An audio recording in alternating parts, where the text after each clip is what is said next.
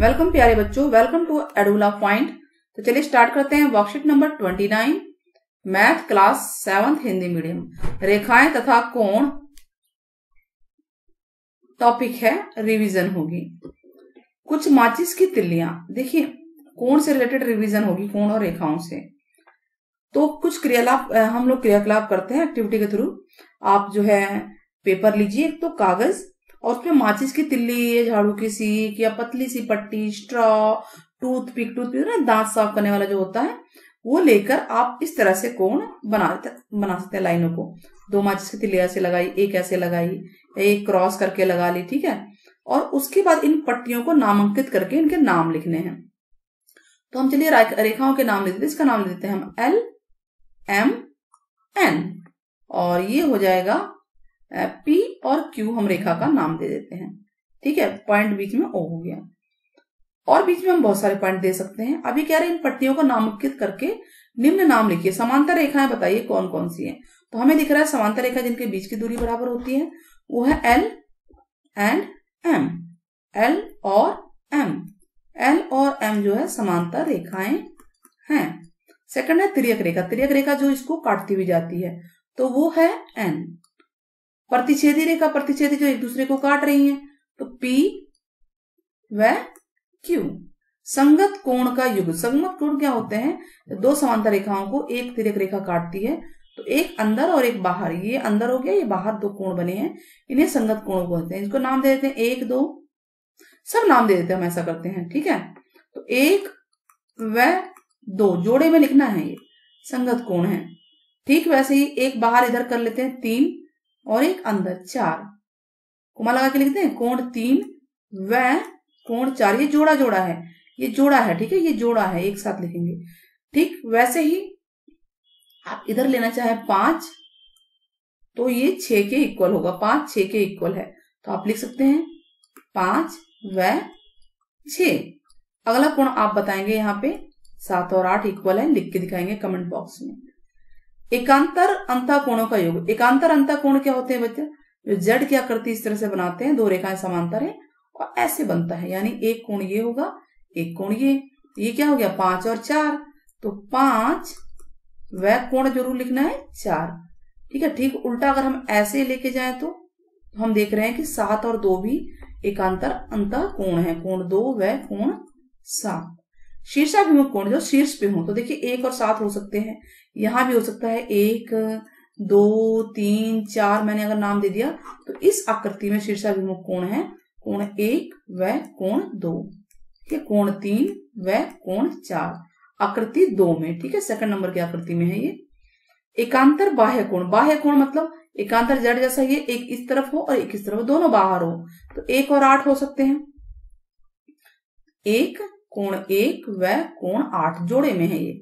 वैसे कोण तीन और कोण छ कोण तीन व कोण छ ठीक है? अंत कोण क्या होते हैं? जो अंदर की तरफ़ है कोण। जैसे पाँच, दो, चार, सात, ये सारे कोण दो, कोण पाँच, कोण चार और कोण सात, ये सब अंत कोण है। अंत मतलब अंदर की तरफ़। बाह्य कोण जो बाहर है। बाहर कौन कौन से कोण है? अब यहाँ पे कोई जोड़ा नहीं बोला है उसने। युग्म नहीं बोला ना, इन सवालों में युग्म बोला था। ठीक है अब बाह्य कोण कौन कौन से? एक, तीन छ आठ। इस वाले डायग्राम में आपको देखना है। कोण एक, कोण तीन, कोण छ कोण आठ। तो इस तरह से आप कोई भी एक्टिविटी करके आप कोण लिख सकते हैं।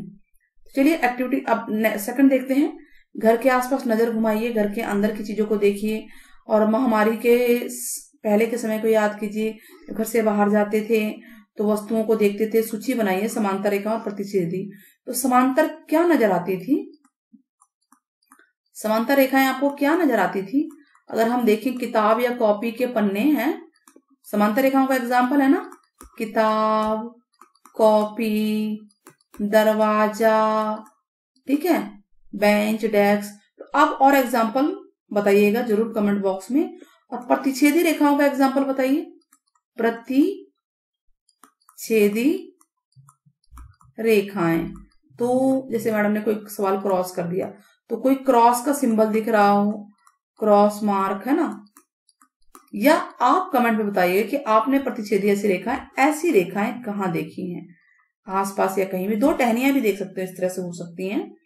ठीक है? नेक्स्ट है, अपने नाम को निम्न कैपिटल ऐसा आपको अपना नाम लिखना है, इस तरीके से। अब जैसे मान लीजिए किसी का नाम जो है राधा है तो वो कैसे लिखेगी राधा?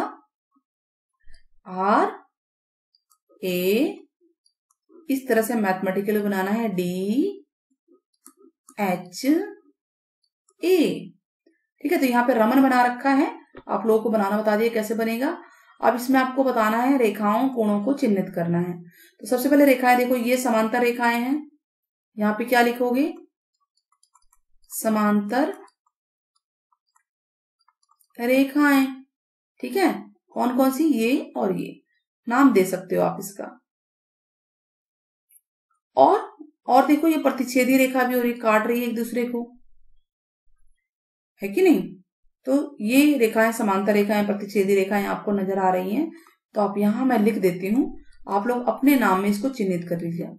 समांतर रेखाएँ प्रति छेदी रेखाएँ। अच्छा कोण को चिन्हित कीजिए। कोण आप देखिए, नब्बे डिग्री कोण बन रहा है। तो कोण कौन कौन से बन रहा है? सम कोण बन रहा है ना? यहाँ पे यहाँ पे यहाँ पे यहाँ पे। ऐसे आपके नाम में भी होगा। ये देखो, न्यून कोण है, ये कोण नब्बे से कम है। तो न्यून कोण चिन्हित करना, आपको लिखना होगा यहाँ पे न्यून कोण। यहाँ आप लिखिएगा, ऐसे न्यून कोण ठीक है, न्यून कोण अपने नाम पे लिखना है लेकिन। ऐसे आपको अधिक कोण नज़र आ रहा होगा, देखो ये अधिक कोण है तो आप लिखेंगे अधिक कोण। क्लियर है? यहाँ आप लिखेंगे अधिक कोण। अच्छा यानी कि नाम दे सकते हैं ए बी सी डी जो भी देना है इन पॉइंट्स की तो आप कर सकते हैं। सम कोण, न्यून कोण। और ये देखो, एकांतर अंतर कोण बन रहा है दो रेखाएँ समांतर है और ये कोण जो है एकांतर अंतर कोण बन रहे हैं तो इस तरह से आप लोग भी कर सकते हैं। आई होप आपको वीडियो पसंद आई होगी। तो चैनल को सब्सक्राइब करना ना भूलें, साथ ही ज़्यादा शेयर करें। Thank you for watching keep watching